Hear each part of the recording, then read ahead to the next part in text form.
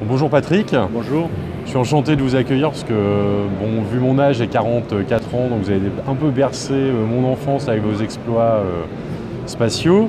On est très heureux de vous accueillir euh, au sein du Drone Festival, donc c'est la deuxième édition, et je voulais savoir, enfin vous poser une petite question très simple. Bah, pourquoi cet intérêt pour les drones Les drones, moi je suis utilisateur de drones comme, comme beaucoup de gens aujourd'hui. Hein, vous en avez un personnellement, un drone de loisir? J'en ai un personnellement faire du, film, de la photo, euh, d'amis, de, maisons, etc. D'accord. Parce que c'est devenu extrêmement facile d'utilisation et c'est un domaine qui évolue très très rapidement.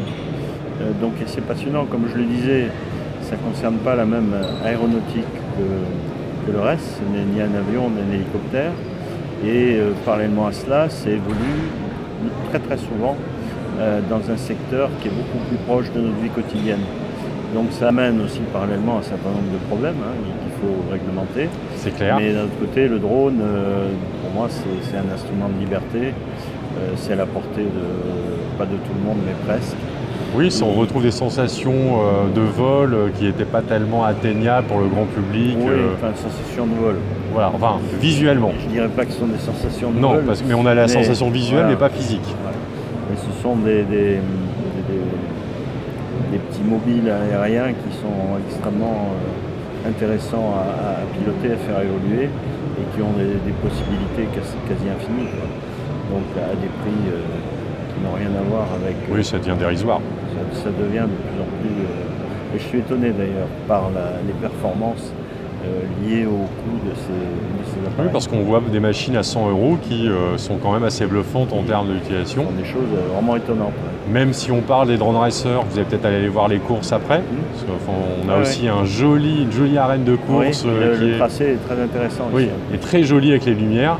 Et euh, quand on voit qu'un drone de course ultra performant, ben, c'est finalement moins de 800 euros. c'est quand, même, bon. Après, ça c'est pas à mettre entre toutes les mains. Je pense pas, non. C'est assez pointu à, piloter. Votre drone, c'est plutôt un drone de prise de vue, c'est pas un drone de course? Moi, c'est un bebop, euh, c'est un parrot. Hein. D'accord. Pour, pour prendre mes amis. Donc pas de velléité de devenir, de vous reconvertir dans la peau d'un champion de course? Non, non, pas du tout, parce que moi j'ai eu la chance de, voler sur des, appareils où il y a vraiment des sensations. Oui. Et, c'est vrai que euh, tout ce qui est virtuel ou tout comme, c'est. Il manque. J'aime bien euh, la réalité. Voilà, il manque l'adrénaline et puis je pense aussi la. Et ceci dit, c'est quelque chose de, passionnant. Hein. Et la rapidité de, l'évolution, c'est quelque chose aussi d'extrêmement intéressant. Oui, parce que finalement, les drones, ça a une quinzaine d'années, enfin 15-20 ans dans le domaine militaire, et les drones dans le grand public, finalement, ça a une poignée d'années. Oui, oui euh, tout à fait, je dirais 5 ans, 6 ans. Oui. Depuis le premier qui soit vraiment pilotable par n'importe qui.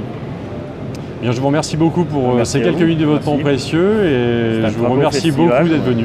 Très heureux d'être là, c'est un très beau festival, c'est superbe. Un plaisir partagé. J'adore. Merci beaucoup.